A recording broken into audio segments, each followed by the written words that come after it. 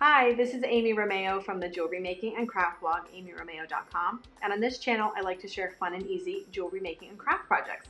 Today in this video, I'll be showing you how to make these really pretty 3D flower earrings using the process of sublimation. If you have your own sublimation printer, I have the designs ready to go for you. They're free on my blog. I can't wait to show you this project from start to finish. So why don't we go ahead, let's hop right in and get started. Let's go over the tools and materials we'll be using today to make these really pretty 3D flower sublimation earrings. So I'll be showing you where to get the designs for these projects in just a minute, but first we'll start with the earring blanks. And these blanks are sublimation blanks. They're MDF on the inside, and then they have a white sublimation coating, usually on both sides, which means you can sublimate on the front and the back. This is a fun package because there's all different kinds of shapes in here, but you can also buy full bulk bags just with one shape, like circles or these bars. It's really up to you. A lot of times these blank packages will also come with the earring hardware that you need, which is nice. They're usually this sort of stainless steel finish. So if you wanted a brighter metal finish, which I prefer, then I'm just going to use my own six millimeter jump rings and also some regular shepherd's hooks in that brighter metal finish, but it's personal preference. We'll need a heating element to press the designs onto the blanks. So I'll be using a Cricut Easy Press. This is the 9x9. You could also use an Easy Press Mini or you could use a larger heat press. For any of these heating elements, I like to press earring blanks at 385 to 400 degrees for about 60 seconds. If you're using the Easy Press Mini, you'll only be able to press one earring at a time. If you're using the larger Easy Press or a bigger heat press, then you can press many earrings at once. So that's the benefit of using a larger heat press. I'll be using a heat pressing pad and then also some parchment paper and some Teflon sheet to protect my surfaces. I'll use some heat resistant tape. This is the blue, the Cricut brand, but you can use any heat resistant tape you prefer. And then I'll be using some jewelry making pliers. These are flat nose pliers to attach the earring hooks. Some tweezers to help me remove the tape after we've pressed. And then also a weeding tool like the pin pen or the weeding hook. And this is going to help us peel off the clear plastic coating that's on these sublimation blanks that we need to remove before we can sublimate onto them. I have some craft scissors and then for safety, I have some heat resistant gloves, which are important because these little earring pieces can be very hot after they're pressed. And you'll also want to make sure you're in a well ventilated area because the process of sublimation does give off some fumes. So I'm going to show you first how to press just the front of the earring if you wanted to make a one-sided earring. But the nice thing about these double-sided blanks is you can press on the back as well. So to press on the back, I like to just use the Cricut Infusible ink. It, they come in solid colors or prints and patterns. It's just an easy way to make a nice solid color finish on the back of the earring. So first we'll do a front only earring and then I'll show you how to press both the front and the back at the same time because that's something I get a lot of questions about. So finally, if you want to use the artwork that I've created for this project, I've created eight different earring sized 3D sublimation flower designs for you, and these are free on my blog. So if you visit amyromeu.com slash design202, you can enter your name and your email address, and I will send these over to you right away as PDFs, and then you can print them from the sublimation printer that you have, and you can follow along with me with this project. So the reason I've made these is there are so many really pretty sublimation flower designs already out there, like on Creative Fabrica, Jennifer Maker did an amazing tutorial not too long ago with several of her own beautiful floral patterns. I'll leave a link to that for you if you want to grab her patterns too. They're amazing, but they're not scaled for earrings. So I wanted to scale down some patterns for earrings and also mirror them because I like it when the earrings are symmetrical. So what's special about my patterns is they're scaled for earrings and they're also mirrored. And I'll show you exactly how to use these in the next step. So let's go ahead and get started. So before I start making the earrings, I wanted to show you a few things that I did in advance to prepare my area. So I have my Easy Press already preheated at 385 degrees and it's set to 60 seconds. So I have that preheated, ready to go. I've cut a piece of parchment paper to uh, the size of my heat pressing pad, and that's to help protect my surface. I've trimmed some pieces of the sublimation tape. I've basically cut about maybe two inch pieces and then I've cut them in half and I've sort of stuck them here so they're handy and nearby so I'm able to grab them easily. I've also trimmed out the design that I want to use from the PDF that I printed from using my sublimation printer. So I have this handy and ready to go. So the most important step we need to do first is to remove the clear coating that's on these blanks to keep them from getting scratched. Sometimes the coating is blue, sometimes it's clear, like this one is, and you might not be able to see it, but I assure you it's there. So I like to use the pin pen weeding tool because it has a little more of a fine point, and I like to start picking very carefully right above the earring hole. Generally, I find that's the easiest part to lift up, and then you might be able to see the little part of the clear cover is starting to peel up, and then you can just peel it off. It's like a sticker. You want to be careful not to scratch your blank when you're doing this process. And then you'll turn it over and you'll repeat on the other side. Once you've peeled the coating off of both sides of your earring blanks, then those are ready to go. And the first thing that we want to do is determine what part of this design do we want to be featured on the center part of our earring blank. So I think I want to use this very large flower here and what I want to do is figure out where's my blank going to go. So it's inside the boundary.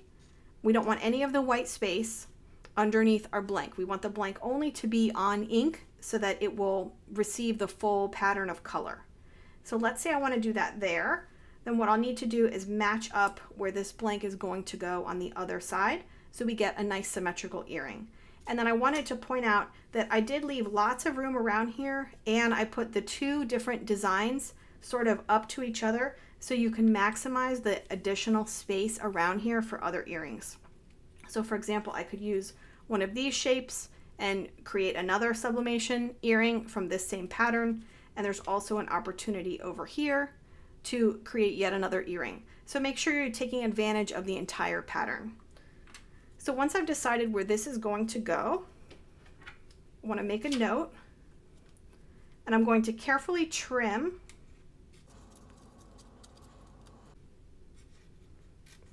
just trimming around the blank pretty close to the edge and that way I can use more of this print for other projects. Once I have that, I'm just going to use my little pieces of tape and I'm going to tape on this side and also tape on this side going across the back.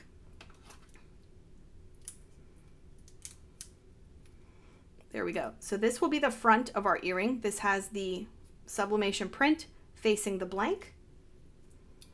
And now just repeat on this side. So once I have the first one taped up and ready to go, I want to repeat that process with the other earring and I do want these to be symmetrical. So I'm going to see where I cut on this side and I'm going to try and place this one on the same spot. And again, I will trim pretty close to the edge. Be sure to leave a little bit of overlap And that way you have plenty more of your pretty floral pattern to make with other earrings. This piece actually goes all the way around, so that's perfect. Now I'm going to put both of these earring blanks with the sublimation paper on top on my surface. I'll protect with either a piece of parchment paper or my Teflon sheet. And then I'm just going to place the Easy Press on top and let it go for 60 seconds.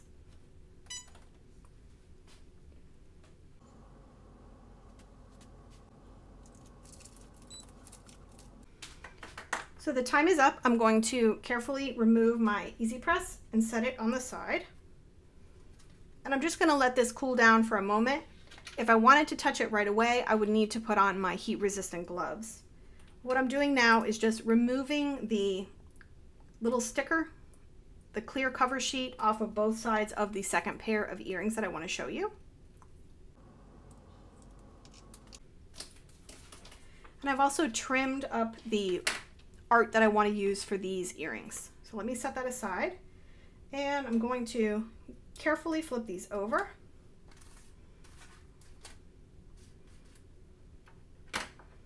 And what I want to do is just remove the tape that's keeping this little transfer onto the blank. And there you have it. Isn't that pretty? Peel off the tape and just set that aside to cool. It's important when you're using the Easy Press not to move it. So I just placed it down. You don't need to press and hold. It just needs to sit there. If you're using an Easy Press Mini, it's very important that you don't move it because you can get some ghosting of the pattern. Let me show you what I mean.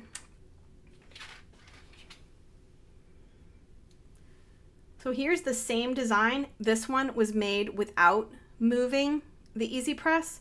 And this one, I moved the Easy Press on purpose so that you can see it's sort of a, a shaky pattern. It's not as clear as this one. So it's really important once you put that heating element on not to move it. So for the second set of earrings, I'm going to show you how I press something on the back, a color on the back, and also the sublimation design on the front at the same time. And it's all about how this is taped together. So this is just a piece of the Cricut infusible ink. This is a pink color called Rose Pink, and I've just trimmed a little piece down to size. And the first thing I'm going to do is tape this onto my blank. So my blank, again, does not have the clear coating on either side. And I'm just going to trim this piece of infusible ink so it's a lot smaller and closer to the size of the blank. So what I'm particularly interested in is getting the edges almost, the edge of the blank almost to the edge of my trimmed infusible ink because that's where we're going to tape. There we go. Now on this side we're going to have our pattern. So let me figure out where that is going to go. Let's see. Maybe kind of there. Okay. And again, we're going to trim very close to the blank, especially on the sides. Okay. Let me trim a little closer on this side. What we're going to do is sandwich this blank using tape in between our two layers of sublimation paper and infusible ink. And we need to do this carefully so that the blank does not shift inside of our little sandwich. So I have my top design pressed on the blank. I'm going to place the back design, which is just that solid infusible ink on the back. And then using my little pieces of tape, I'm going to very tightly tape this up right around the edge. See that there? You don't want to give yourself a lot of overlap here. You want just enough to make sure that the ink will cover the entire blank, but you want to have this very close on the edge. And again, we'll tape it up. And I'm going to tape on the bottom too, just because we don't want these designs to shift and move. I'll do one more up here. There we go. I'm going to repeat that with the other blank. Now that I have both of my blanks very securely sandwiched in between my piece of infusible ink for the back and also my design for the front, I'm going to place both of these on my parchment paper with the infusible ink side up. It doesn't really matter which side you press first, but I'm going to do this side first. And I'm actually not going to use this Teflon sheet right now because I noticed that the blanks I just did are a little bit lighter in color and vibrancy than this one. So I'm going to press with a little piece of parchment paper instead because it's not as thick. So I'll just cover those up and again, place this down, try not to move it and begin.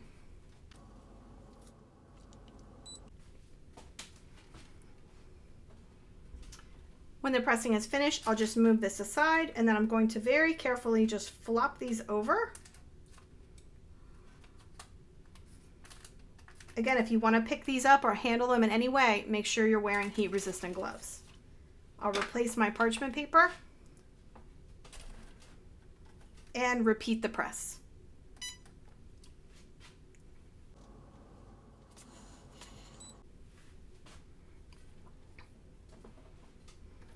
So the pressing for the second side is finished. I'll move that to the side and I'm just going to let this cool for a moment while I go ahead and put the earring hooks on the first pair that we made. So I have my shepherd hooks. As I mentioned, I've already turned the bottom loop to face forward. I've turned it 90 degrees and this is going to make our earrings hang straight. If you want more information about why I do this or to see this process in detail, I have a video that I'll link to for you so you can check that out. But I've already turned my hooks facing forward and I have my six millimeter jump rings ready to go. I'm just going to use two pair of flat nose pliers, open up the jump rings,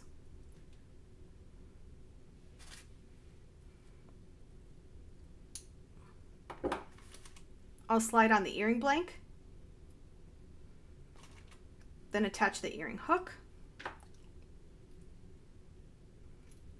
and just close that jump ring right back up. Isn't that pretty? I did want to show you, if you used the findings that came with this particular assortment of blanks, this is what it looks like. And it has the shepherd's earring hook, and then it has this piece that it's a pinch bail, and this is going to pinch onto the hole. So let me just show you how to use that real quick. So it's sort of pinched closed. We need to open it a little bit so that we can put our earring hook, we can put our earring finding on. So I'm going to use my needle nose pliers and just sort of get in here and spread that open a little bit. Let me see if you can see that. See how the jaws are open on that pinch bail? And then all we need to do is set our earring piece in between the points of the bail. And I can actually just pinch this closed with my fingers. That's why it's called a pinch bail. And then that's how that looks. Okay. So these have cooled a little bit. Let me use my scissors. If I wanted to do this sooner, I would need to put my gloves on. So I'm just cutting open sort of that little sandwich and then you can see the front of the earring. Isn't, isn't that beautiful? I think the colors are a little more vibrant because I didn't use the thicker Teflon sheet in between the heat press, but you can experiment with that.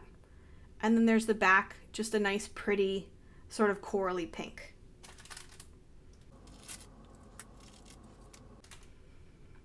I think those are so pretty. And can you see how the pattern is symmetrical? The white flower here is also here. I love making earrings that are symmetrical. They just look more finished and professional. So I think our 3D flower sublimation earrings came out so pretty. And what's great about using these specially sized and scaled designs that I've created for you is you can see a lot of the flower petal and a lot of that 3D flower detail on these smaller earring blanks. So remember, I've created eight different versions for you of these pretty 3D flower earring designs for sublimation. These are free on my blog. Just visit amyromeu.com slash design 202. Let me know what email address you'd like me to send these to, and I'll send them over to you instantly. These will be PDFs, and you'll print them out using your sublimation printer, using sublimation ink, and also sublimation paper. And then you'll be able to start creating these beautiful 3D flower earrings yourself. If you like this video, I have lots of earring tutorials, jewelry making tutorials, for Cricut crafters and sublimation on my YouTube channel. I would love for you to subscribe and I can't wait to see you in the next video. Thanks so much for watching.